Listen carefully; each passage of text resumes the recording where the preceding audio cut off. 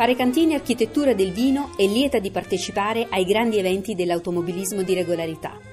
Fare Cantine nasce nel 2014 da cinque affermati professionisti per dare al vino i migliori ambienti. Una cantina costruita o ristrutturata sulle esigenze del cliente è come un'automobile preziosa. Saperla condurre può dare tante soddisfazioni. Farecantine.it